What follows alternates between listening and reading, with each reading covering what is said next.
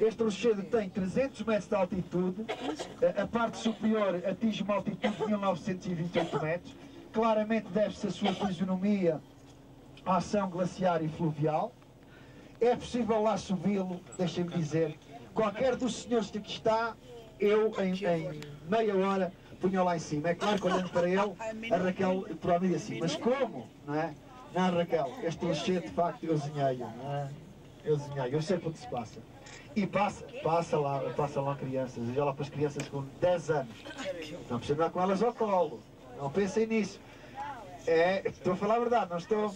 É que de facto ele, o, o rochedo abre aqui uma garganta que, que, é uma coisa lindíssima pelo lado de baixo. Desce até, até, até ao sopé e depois andamos a trabalhar ali pelo meio. É claro precisa conhecer, quando não perdemos no meio do rochedo. É que este rochedo olhando parece pequenino, lá em cima cabem lá 10 grupos como o nosso.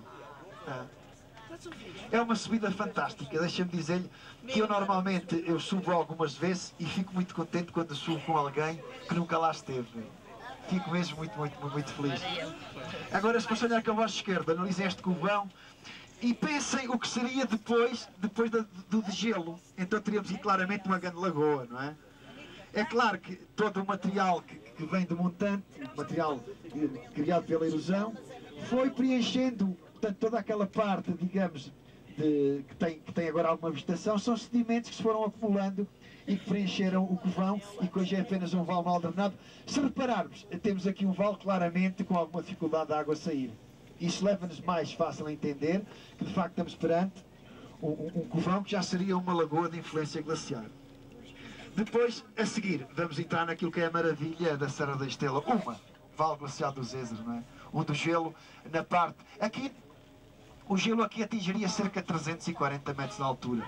A única parte que não teria neves eternas, portanto estamos a falar de gelo eterno, seria os últimos 5 metros do cântaro magro. E porquê? Uma razão, o vento não deixava lá parar a neve.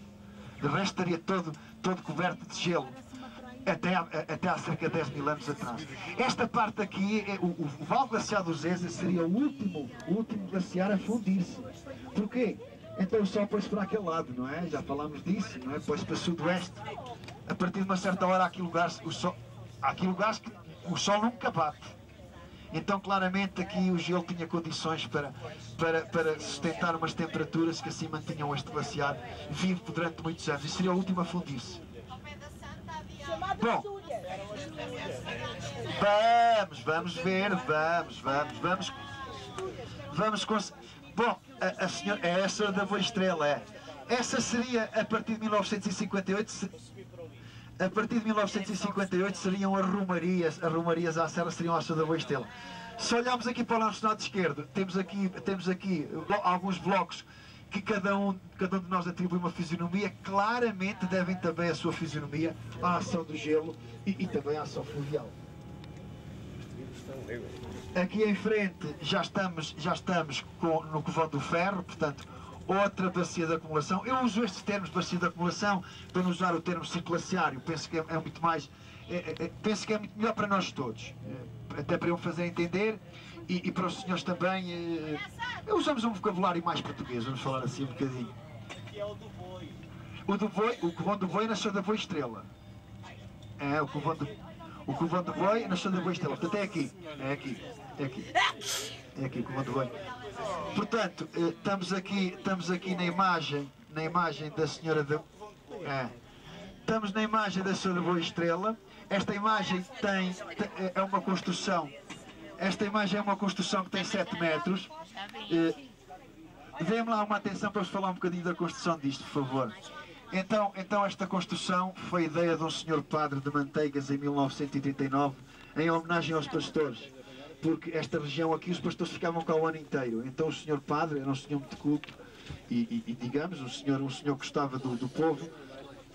E então resolveu, resolveu com a ajuda de um, de um arquiteto também, um senhor de facto, um senhor muito bom, que não cobrou tostão hein, pelo projeto e pelo acompanhamento da obra. Então foi em 1939 e a partir de 1948 estaria pronta.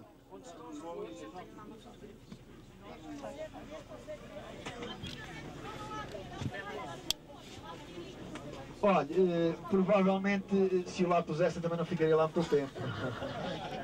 Sim, punham, punham, punham. Deixa-me dizer.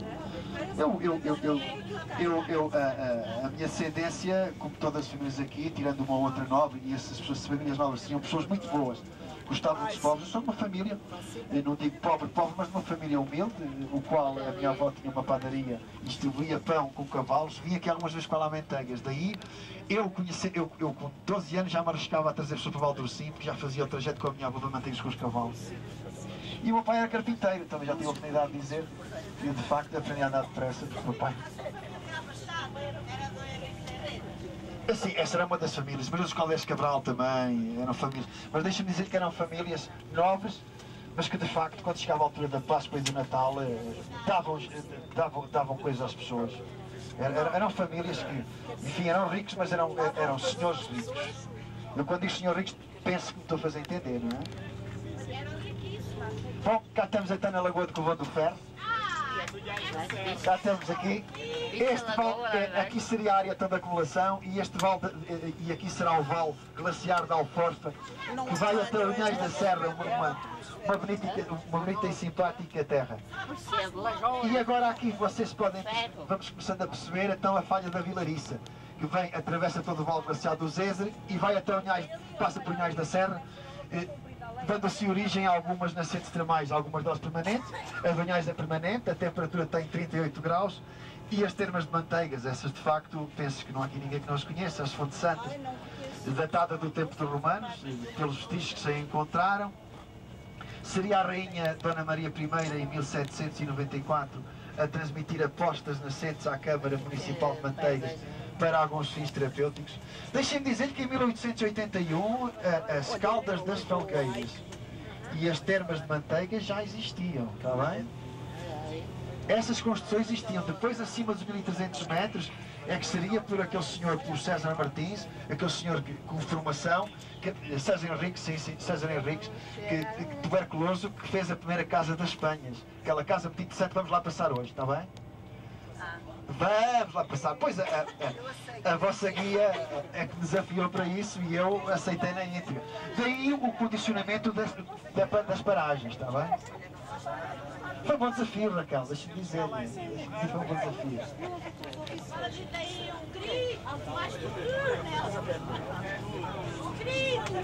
Mais um dos túneis, mais um dos túneis que, que levaram os nossos avós a puxarem para a força, não é? Eu falo, eu falo, eu falo do meu porque e, e isto que eu também não é uma história, é um facto.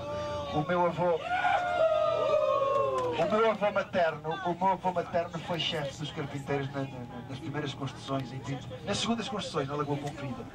E reformou-se lá porque um senhor que andava na parte do andaime superior, trazia daqueles lápis compridos, grossos de carpinteiro, saiu da orelha e bateu no miolo do meu avô, o meu avô caiu a 15 metros e fraturou toda a parte direita. Portanto, reformou-se com os tostões. Ai, Esses são os tostões quando eu tinha, por exemplo, eh, eu perdi o meu avô com cerca de 10 anos, 11, 10, 11 anos, eu morri da minha avó. Esses são os tostões davam para o macho de Kentucky. Meu Deus! Era a reforma dele, deixa-me dizer. Aqui,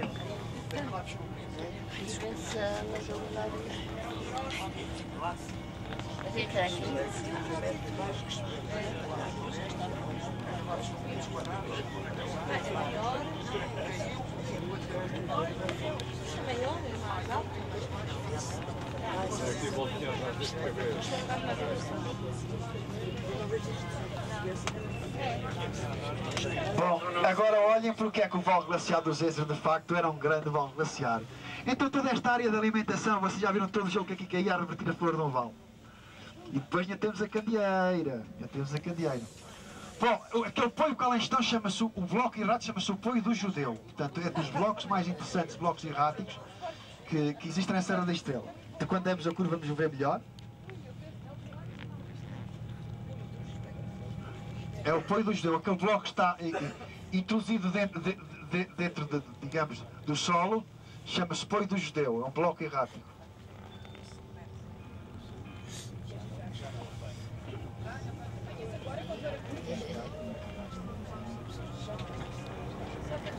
O senhor que fez esta estrada travou aqui algumas guerras, porque claramente a estrada facilitava mais passar para aquele lado, mas ele ia mexer nesse, nesse bloco e na moreia.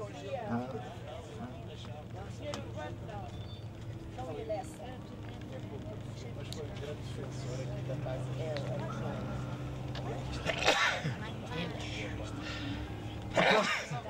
No Cantar Magro olharam a Lagoa de Viriato, que fica além, não é? Pronto, aqui é a nave Santo António, portanto esta parte mais plana. Isto antigamente, para quem conhecia, juntavam-se aqui no verão às... Oi, oi, eu chegava a vir para aqui, nas minhas férias grandes. Era, juntávamos aqui todos todos, interessante. Esta é uma das nascentes muito interessantes, sai da rocha, também é uma água que tem uma temperatura bastante fria. Portanto, claramente estes blocos aqui, se vocês puderem, olham e veem claramente foram deixados aqui por alguém. Esse alguém chamava-se gelo, não é? Nota-se perfeitamente, não é, não é preciso aqui haver, digamos, um, uma grande formação na área para se perceber que isto não faz parte de nenhuma formação rochosa.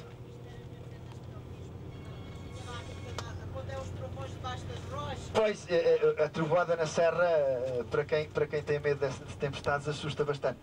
Assusta e é muito perigosa, não é? Bom, vamos lá ver que existe, existe uma razão para as pessoas se assustarem, porque de facto é muito perigoso. Por exemplo, quando estou com grupos na serra e, e começa a trovoada, eu, eh, é logo, marcha de aceleração. Portanto, vamos acelerar um bocadinho isso, vamos sair daqui.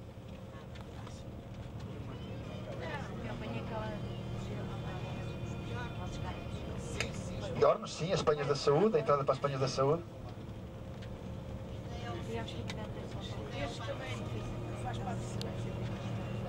Construções, eh, temos algumas pela serra, Castelo do Glaciar.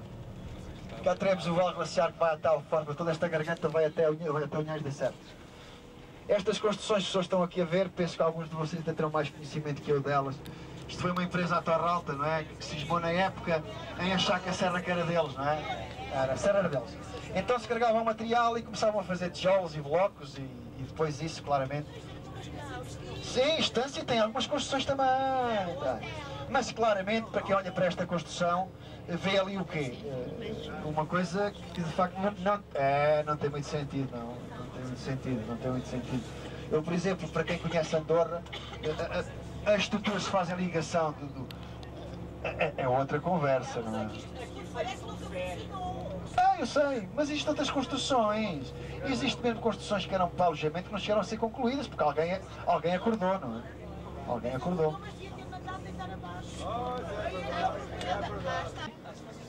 Na Espanha da Saúde, eu às vezes quando é de inverno eh, venho aqui fazer assim uns truquezinhos assim mais arriscados de neve. Né? Bom, eh, bom, olha, é uma pergunta, não lhe vou responder afirmativamente, mas sim.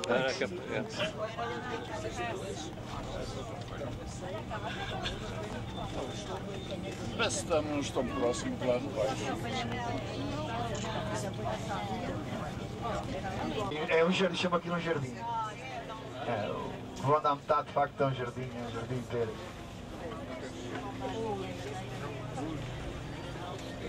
Outra